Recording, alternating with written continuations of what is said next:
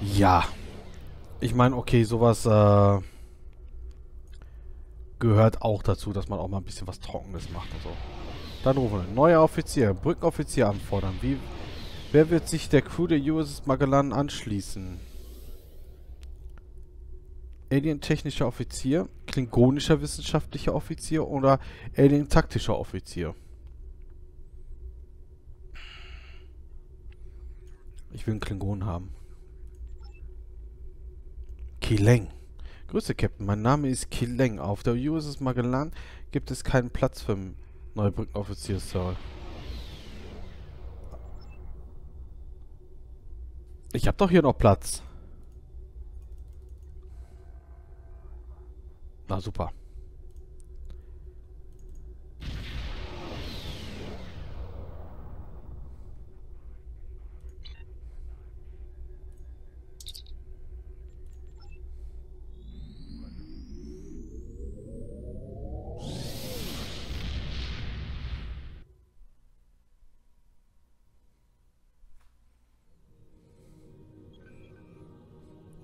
Komisch.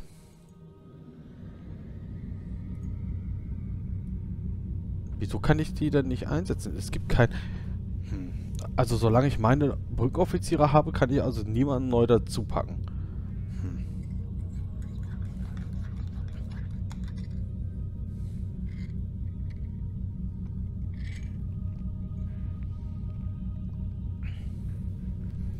Finde ich jetzt ein bisschen komisch, ein bisschen schade auch. Sagen wir so. Komisch nicht so, aber mehr schade als komisch.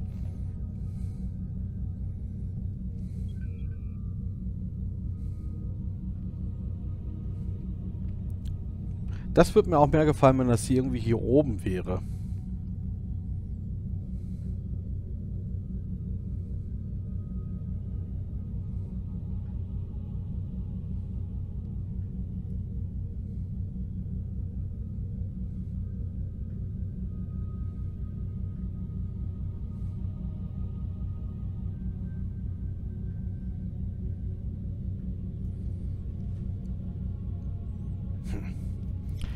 Ja, das mit dem mit den Brückenoffizieren, das geht mir jetzt nicht so aus dem Kopf. Na gut, es ist halt so, wie es ist. Kann man jetzt leider auch nicht ändern. Aber, solange wir ja noch hier ein bisschen am Fliegen sind, ähm, was ist denn so von Star Trek so eure Lieblingsserie? Oder, beziehungsweise, oder eure Lieblingsfolge? Habt ihr die da so? Ich meine, so Serien... Gut, ich bin mit, mit ich selber bin mit uh, The Next Generation groß geworden. Somit ist das schon für mich meine Top-Serie. Und ähm, muss aber sagen, dass die Voyager für mich eigentlich ähm, von den Serien, die bis jetzt kamen, für mich die schönste und die beste war bis jetzt. Ähm, Discovery warte ich jetzt noch ab, bis alle Staffeln raus sind. Dann beurteile ich sie. Ne? Ich meine, ich sage aber Discovery schon mal jetzt ähm, für mich ist Discovery eine eigenständige Sache. So wie die neue Enterprise mit Captain Kirk jetzt, ne? mit den jungen Leuten, ein anderes Universum und sowas. Ne? Ich sage jetzt nicht, dass es für mich die Discovery ein anderes Universum für mich Ich glaube, die ist im selben Universum, wie die ganze Serie läuft. Also alle Serien laufen. Ähm, ich warte nur halt noch ab, bis ich alle Staffeln gesehen habe. Vorausgesetzt, sie fährt nicht zum Fluch oder sonst irgendwas, wie jetzt Enterprise oder die erste ne, mit Captain Kirk, ne, Star Trek Raumschiff, Raumschiff Enterprise und sowas, ne, damals. Ähm, die beiden haben ja leider ein Problem gehabt, dass sie beide abgesetzt wurden. Äh, und durch, erst durch die Filme dieser Hype entstanden ist. Soweit ich weiß korrigiert mich gerne, wenn ich, wenn ich falsch liege. Aber ich meine, das war so. Weil es gibt von Kirk, glaube ich, nur drei Staffeln und von Enterprise mit Captain Archer nur vier Staffeln. Soweit ich weiß. Ja, somit hätten dann quasi die beiden zusammen sieben Staffeln, was ja eigentlich normal ist bei Star Trek. Ja, ansonsten Voyager da gefiel mir eigentlich, boah, da waren so viele klasse äh, Folgen dabei. ich meine, ganz am Anfang war sie wirklich so, oh mein Gott, ob das was wird. Uh, ah, ich weiß nicht. Ich weiß nicht. Ähm, aber dann später, es war richtig klasse, auch wie die Crew zusammengefunden hat, mit dem Marquis zusammen, mit der Crew des Marquis und so. Das hat echt super genial geklappt. Und ähm, sie wurde immer besser, immer besser. Und es war für mich wirklich episch, dieses Finale. Und da gab es so viele Folgen, wo ich wirklich gesagt habe, ja, Wahnsinn. Sonst mochte ich immer die mit Borg, mit den Borgs. Oder wenn die Klingonen bei The Next Generation mit auftaucht, das war auch klasse. The Klingons are willing to use any weapon available to destroy the Federation, even time itself. It falls to a small group of brave Starfleet officers to restore the timeline and rescue one of their own. Who controls this sector may determine who controls the war. Task Force Hippocrates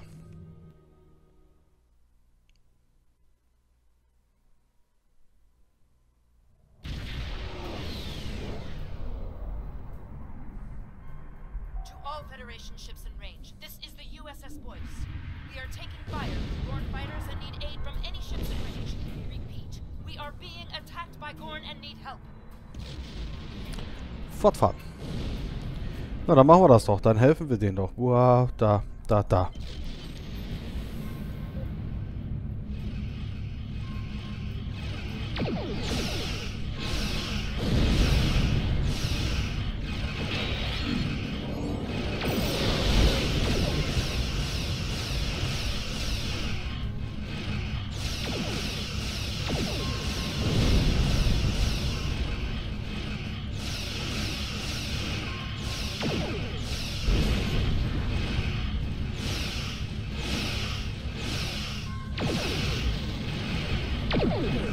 Okay.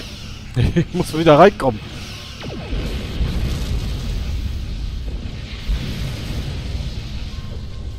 Wo sind sie denn?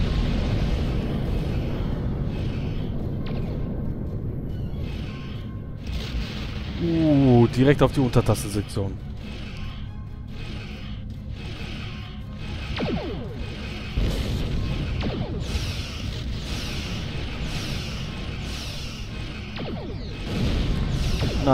Ihr wollt es wirklich drauf anlegen.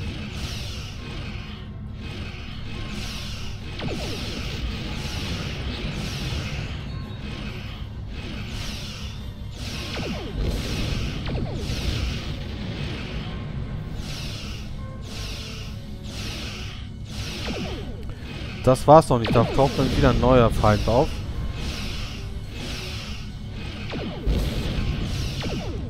Na, kommt schon.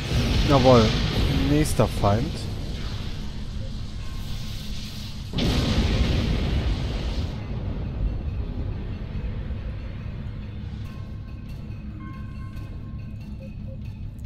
Warum ist denn der so weit? Ne, den mache ich jetzt auch noch platt. Den mache ich jetzt auch noch platt.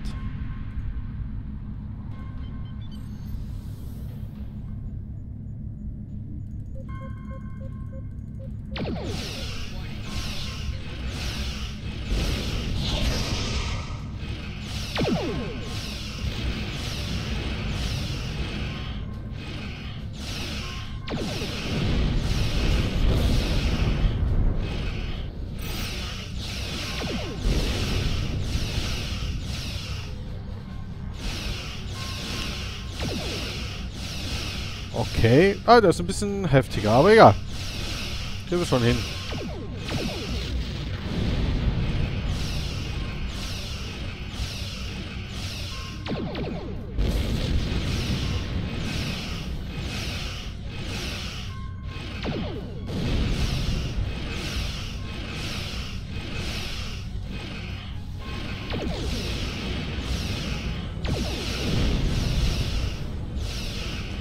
Uah. Los, dreh dich um, dreh dich um, dreh dich um.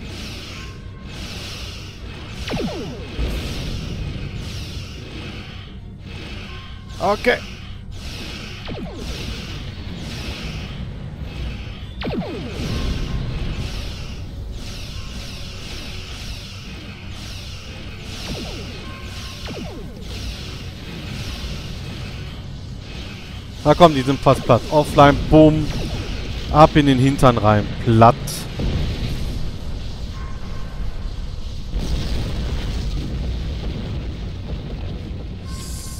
So, jetzt, äh, wo ist sie?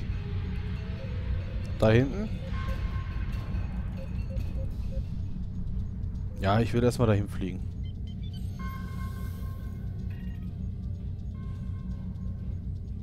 Ich will erstmal dahin fliegen. Nicht, dass ich dann da bin.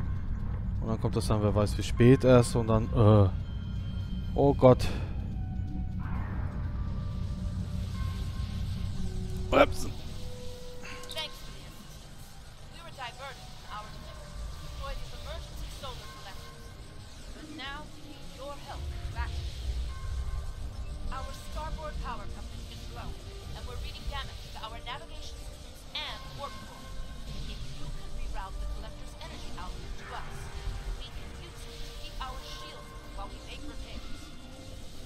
Wir sollten kein Problem haben, nahe genug an die Emitter zu kommen, um sie auf Übertragung zu stellen. Echt jetzt?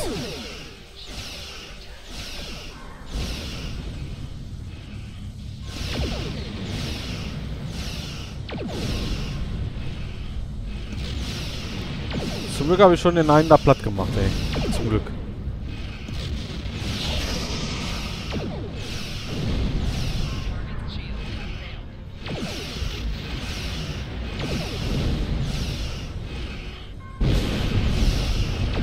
Boah. Mal Glück gehabt.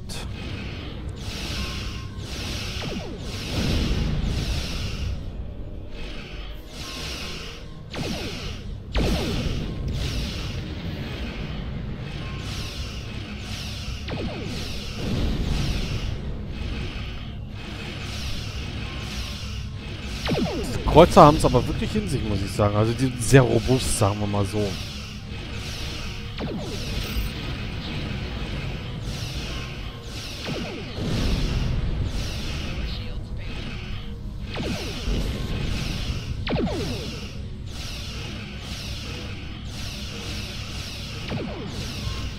Ich hab ja ganz vergessen, wir haben ja hinten auch noch Torpedos.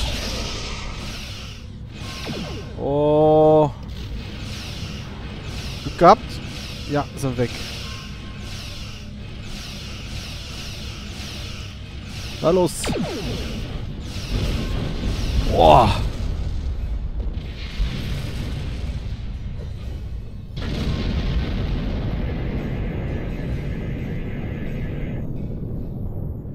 Gut, den Kollektor haben wir. Das ist dann schon mal der eine. Und voller Stopp.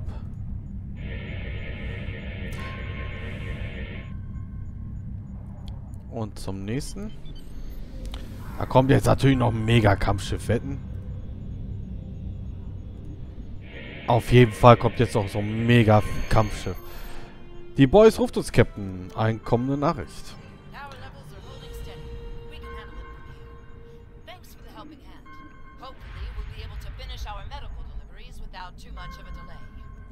Für Glock Boys. Magellan Ende.